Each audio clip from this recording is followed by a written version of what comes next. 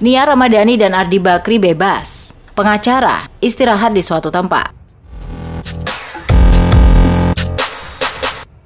Nia Ramadhani dan Ardi Bakri dinyatakan bebas dari perkara narkoba setelah menjalani masa rehabilitasi selama 8 bulan. Hal itu diumumkan Waude Nur Zainab selaku pengacara keduanya. Jadi di website Mahkamah Agung sebenarnya sudah muncul bahwa perkara Bunia dan Pak Ardi, Pak Ivan di tingkat banding sudah putus 29 Maret 2022, kata Waude Nur Zainab pada Kamis 21 April. Dan sesungguhnya pemberitahuan keputusan sudah disampaikan kepada kami. Putusannya adalah bahwa beliau-beliau ini diputus untuk menjalankan rehabilitasi selama 8 bulan di Van Kampus. Lanjutnya, pengacara juga menjelaskan rehabilitasi sudah mereka jalani lebih dari waktu seharusnya. Putusan yang seharusnya selesai pada 10 Maret baru dijatuhkan pada 29 Maret.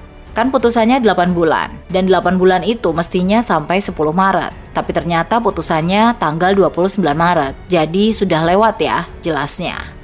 Waude menjelaskan saat ini Nia Ramadhani dan Ardi Bakri sudah keluar dan istirahat sembari menjalani puasa. Ya sudah pulang, sudah istirahat di suatu tempat, jadi sambil menjalani ibadah puasa Ramadan, katanya. Kondisi baik, saya sih belum pernah berjumpa semenjak bulan Ramadan, tapi alhamdulillah saya dapat informasi bahwa kondisi baik, lagi menjalani puasa bersama keluarga, jelasnya.